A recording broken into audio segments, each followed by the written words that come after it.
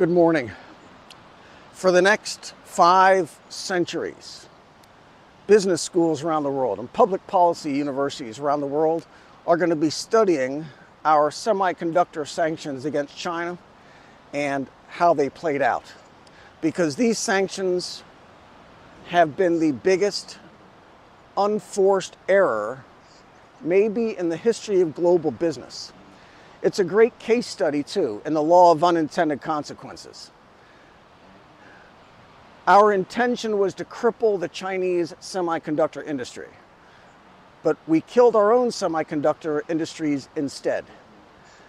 And it's hard to see. Honestly, it's hard to see how things could have gone worse than they have. If our idea was to decouple from China, or to prevent China from building semiconductor chips, or to deny Chinese semiconductor companies a future market to the rest of the world. That we wanted to keep all those markets for ourselves. I'll say again, it's impossible to see how things could have turned out worse than they have. Pre sanctions, before we put sanctions on, here is how the system worked.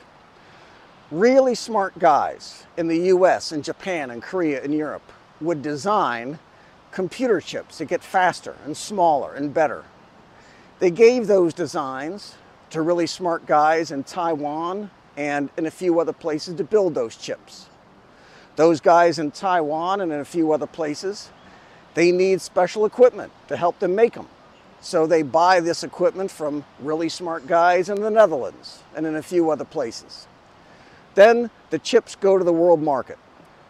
Chinese companies buy a lot of those chips to put into their electronics and their cars and their planes, appliances, all of that. That is how the market for semiconductors worked, and everybody was happy.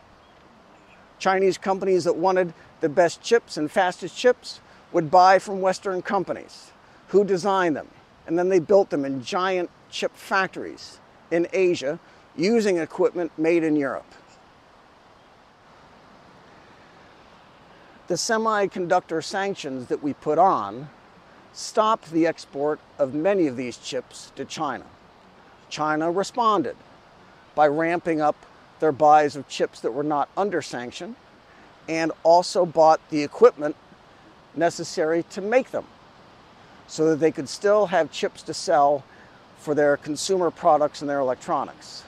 Then they poured a lot of money and resources into building their own chip making industry. And that is just what happened. Now the Chinese are building chips that they were not supposed to be able to build. And now Huawei phones are using those chips and blowing up the sales of iPhone here and everywhere else that Huawei is allowed to sell. China also embraced RISC-V, open source chips, started making those. And last year exported, exported. They built these chips here and exported 5 billion RISC chips. They weren't supposed to be able to build them at all, and yet they shipped 5 billion of them. So 5 billion chips that came from China that did not come from chip makers back home. Over the past month, investors on Wall Street are finally starting to understand the problem. The demand for chips from US companies are not going to be there at anywhere close to the levels they thought. The profit margins for sure will not be if China is building chips for their own market and supplying plenty of the global market besides. And to be honest, this is something I wondered if I was missing when I saw the share prices of these companies go up, up, and up. China was such a huge market for these companies and so, where are the new customers going to come from to replace China? And now that China's figured out how to make them and they're exporting them in mass volumes to global markets, what are institutional and retail investors in the United States seeing that I'm not seeing?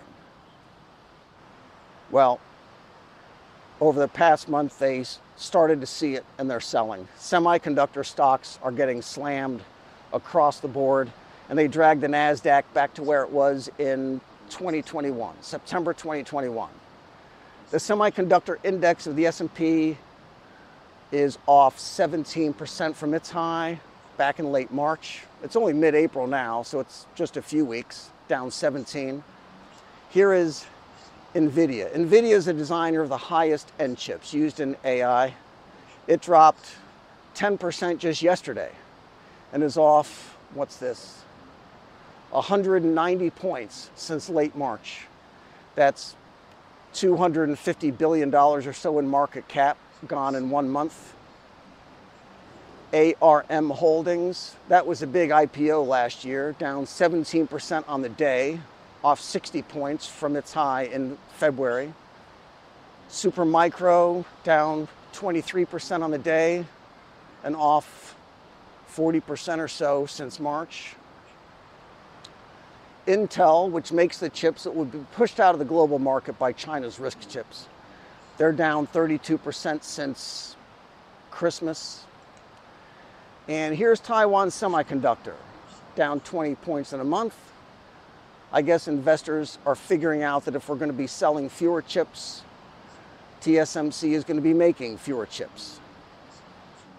I know that this is only one month or so, and anything can happen tomorrow. But the premise here was always a very deeply flawed one that China in the 2020s is not like Russia in the 1980s or the Cuban tourist or cigar industries in the 1970s when we started sanctioning them. But our idea was that we could blow the dust off these playbooks and apply them here and now to semiconductors in China. The companies that supplied China with the chips that China needed, they also needed China to buy them. You can't take China out of the demand side and not see a collapse in sales of almost anything, but definitely not semiconductors. And if China cannot buy semiconductors, they needed to learn how to build them and fast. And once they did that, it's not just China who won't be buying chips from NVIDIA or Intel and Micron. Nobody else will be either. China is now a producer and an exporter of high speed, high quality chips. They compete on cost and on quality. And if you don't believe that China long term will be successful at doing that, then I have very good news for you. You can buy these chip maker stocks from the United States. They're on sale and they're 30% off. Be good.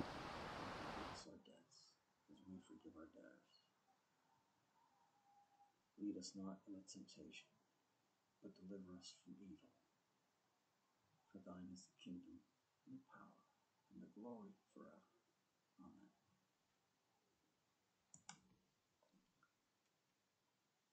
Father, thank you for this precious brother who has come.